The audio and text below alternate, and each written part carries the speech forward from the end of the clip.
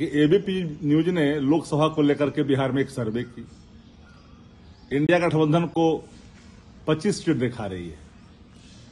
मैं तो मानता हूँ कि जो भी सर्वे अभी हुआ हो, इंडिया गठबंधन 40 में से 40 सीट बिहार में जीतेगी। भारतीय जनता पार्टी का खाता भी नहीं खोलेगा।